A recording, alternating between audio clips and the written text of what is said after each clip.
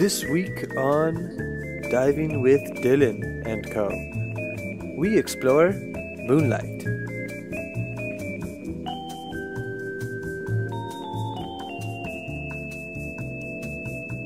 As we descended down to the bottom, we noticed a forest of kelp surrounding us.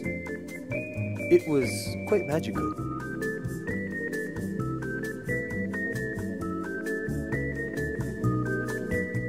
Master Dillan, double checking to make sure I'm okay, then gives me the go ahead to follow him through the kelp.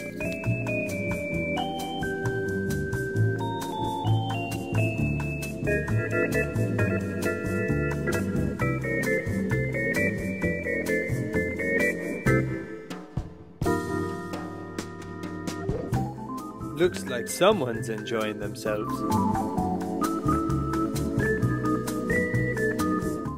Oh, hey there, little fella. You got some pretty funny looking teeth.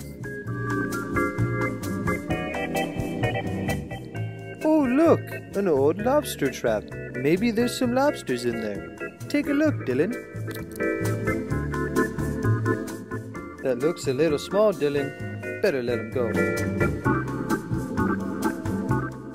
My favorite part of the dive was transitioning from the outside to the inside reef.